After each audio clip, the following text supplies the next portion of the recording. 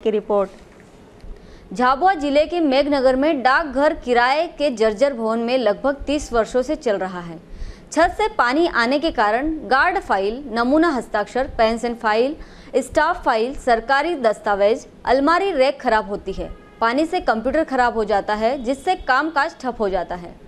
कस्बे का डाकघर अव्यवस्थाओं का शिकार है। जर्जर हो चुका कई साल पुराना डाक भवन गिरने की कगार पर है। छत से टपकता पानी जीर्ण शीर्ण हो चुकी दीवारें कभी भी गिर सकती है, जिससे मकान गिरकर जन हानि का खतरा बना हुआ है। डाकघर मकान मालिक इसकी शिकायत कई बार विभाग के आला अधिकारी से कर चुके हैं, पर उनके कानों में जू तक नहीं रेंग रही है। डाक विभाग की समस्याओं को लेकर कई बार शिकायत की जा चुकी है, लेकिन समस्या जस की तस बनी हुई है। जर्जर हो चुकी डाक विभाग की बिल्डिंग के पास बालिका कन्याशाला स्कूल व जैन समाज का धार्मिक आयोजन स्थल होने से कई लोग डाकघर के बरामदे में खड़े रहते हैं, जिससे जर्जर हो चुके बिल्डिंग कभी भी गिरने से जन हानि का खतरा बना रहता है। पूर्व में भी झाबुआ ज़िले के थांदला में डाक विभाग की बिल्डिंग गिरने से बड़ी जनहानि हो चुकी है, जिसकी पूर्ण आहुति मेघनगर डाक विभाग कर रहा है।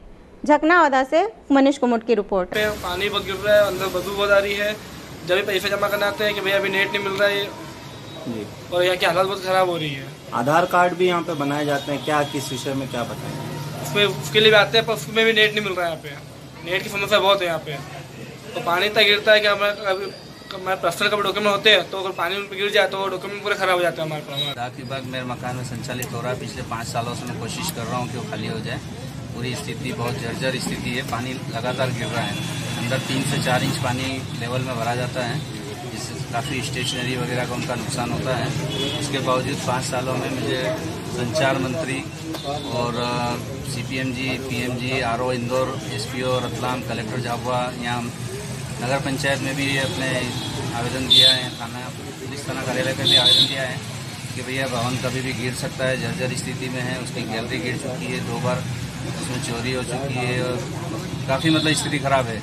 फिर भी भवन खाली नहीं कर रहे हैं। पाँच पाँच वर्षों से मतलब अपने जमे हुए हैं। कोई प्रयास नहीं उनकी तरफ़ से जबकि मेरी तरफ़ से तीस से चालीस आवेदन दिए लिखित और मौखिक दिए जा चुके हैं। दिल्ली संचार मंत्री महोदय को भी मैंने आवेदन दिया है। अभी तक कोई कार्रवाई नहीं हुई सर बिल्डिंग जर्जर हो रही है और पानी टपक रहा।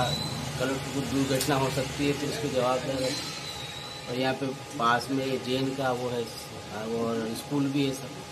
पानी गिरता है यहाँ आगे आगे खड़े रहते हैं तो कभी भी दुर्घटना घटित हो सकती है। किस तरह की समस्या है डाक विभाग में भी?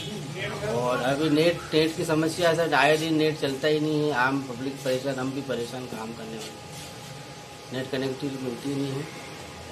ये बिल्डिंग की है समस्या सर। बिल्डिंग पानी टपक सर आगे और पीछे खाली बीच में पतरे लगा रखी है वो भी पूर्व में जो एसपीएम था उसने लगाया था निजी। डाक विभाग को कोई निजी बिल्डिंग नहीं दी गई है अभी तक? अभी तक तो कोई निजी बिल्डिंग नहीं दी गई। क्या मांग कर रहे हैं आप?